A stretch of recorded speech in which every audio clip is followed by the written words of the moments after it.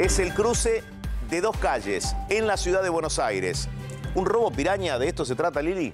En Anchorena y Perón, exactamente, plena ciudad de Buenos Aires. Fíjate, los autos detenidos por el semáforo, mucho tránsito. ¿Y qué pasa? Estos dos jóvenes, en principio son dos, pero son parte de aquellos que cometen robo tipo piraña. El hombre que estaba estacionado, imagínate con la temperatura que está haciendo ahora, ventanilla medio baja, meten la mano, lo obligan a darle todo, celular, dinero, lo amenazan, uno de un lado, el otro del otro lado, amenazándolo también, imposibilidad de moverse y atrás que quedan atrapados los otros autos que venían y que graban la situación. Lo que me explican que es la persona que está grabando, que pasó hace un ratito esto, ¿eh?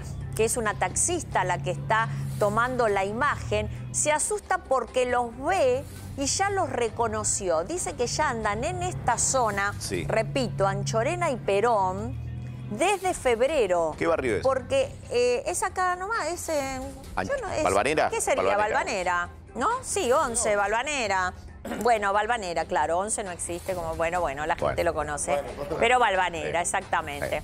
Ahí está. Eh, seamos precisos, nos pide nuestro productor. Esto demuestra que trabajamos bajo presión permanentemente, ¿no? Él es muy preciso, siempre primero. Siempre primero. Eh, y eh, lo que me cuenta, que los vio también en la zona de la calle Virrey Liniers entre el 100 y el 200. Es decir, hacen esto, como saben que hay días que hay mucho tránsito, se paran en esta zona y producen esto, el robo tipo piraña. Te atacan de un lado y de otro y a veces sin necesidad de tener nada, amenazándote con un simple cúter, con un cuchillo y rodeándote. Sí, o jugando con, la escena eh, en la que uno no sabe si están armados o no.